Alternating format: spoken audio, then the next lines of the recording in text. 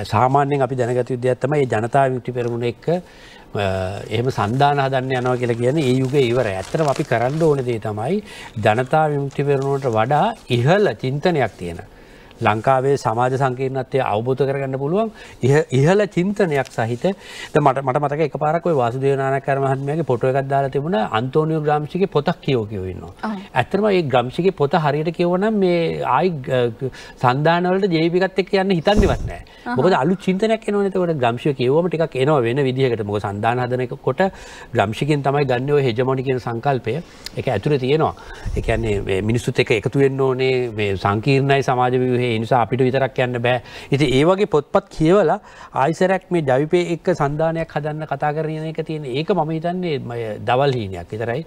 බොකද ජවිප එක ඉන්න අය කියල කියන අඩුම ගානේ මම දැක්ක මේ පහුගේ කාලයව කංචන ඇමතුමා අරධනාවක් කර අන්රුකුමාධසානායක මන්ත්‍රතුමාට මේ සංවාදකට එන්න කියලා. මට මතක නෑ විදුලි බලය හරි මක්හරි තොට එතුමාකවා මේ එන්න බෑ කියලා කියන්නේ.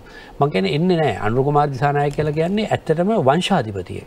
ඒ වගේ අර අපි වගේ අර දැ බුදු හාමුදුරක වන්නේ මෙහම කතාවක් බුදු හාමුදුරන්ට මේ කවද සුද්දතන රජදුරහරි කවුරකිව අර ගෙදර ඇතුළ ඉඳලා ඔහ යන්න පා එහෙම යන්න අපි ළඟ ඕන් තරන් කන්න බොන්න තියෙනවා කියලා එතකොට උන්වහන්සේ කිව්වා ඒ මහරජයේ තොපගේ වන්සය අපගේ වන්සය මහපාර පිඩුසිගා වඩිනෝ කියලා. එතුර අපි කියන්න ඕන අනුකුමාර් දිසානාය කල කියලා කියන්නේ විදිත හේරත්ල කියල කියන්නේ ලාල්කාන්තල කියලා කියන්නේ මහ වංශාධිපතියෝ. එතකොට සාමාන්‍ය මිනිස්සුත් එක ඒගොල සංවාදවලට එන්නේ.